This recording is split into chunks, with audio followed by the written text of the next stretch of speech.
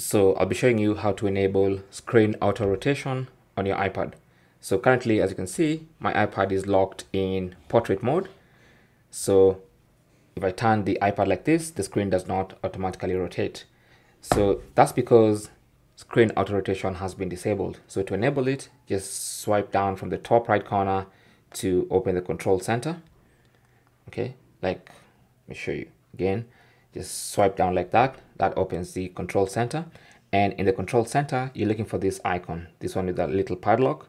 Now if you tap on it it says rotation lock off which means you've now basically enabled screen auto rotation. So now when you hold your ipad in landscape mode the screen goes in landscape mode. When you hold it in portrait mode it goes in portrait mode. So that's basically how to enable screen auto rotate on your ipad. Thanks for watching Leave your comments and questions down below and good luck.